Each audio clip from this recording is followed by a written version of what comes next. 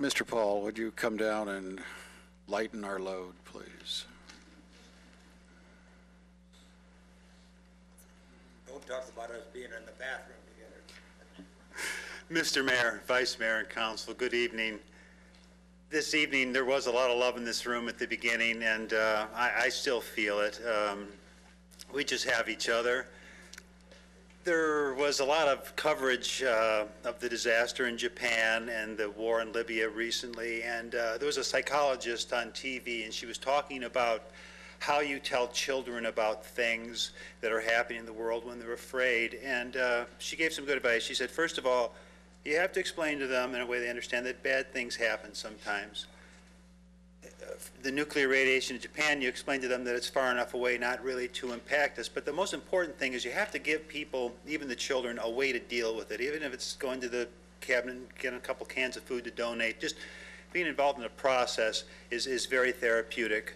And uh, I appreciate that. Uh, This has been dragging me down a little bit, problems in the world, and I was heartened to come here tonight and see all the love in this room. And I attended a couple of community events recently that also helped. Uh, The first was the press conference at the uh, sheriff's statement, uh, station welcoming the captain, welcome captain. Uh, That was a fun event. And uh, of course, today at American Heroes Park, we opened it up and my boys were playing and, and on the equipment. It, it was just an absolutely uh, great event that helps build community, the, the downtown, the park, all of it's coming together. And these are the things that even if it's not a direct contribution, just feeling like you're part of the community fulfills that third part of just uh, having something to do, just belonging. Um, I love the park. I just have one little note about the park. From the senior center, I'd like to see some uh, clearly demarked crossing lanes, big bright yellow or a sign to help the seniors get across to the park. Uh, One at the corner of Jackman, maybe one down a little further. That would really help.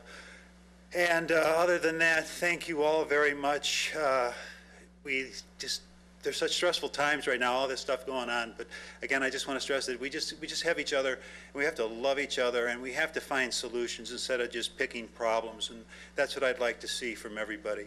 So thank you and good night. Good night, thank you.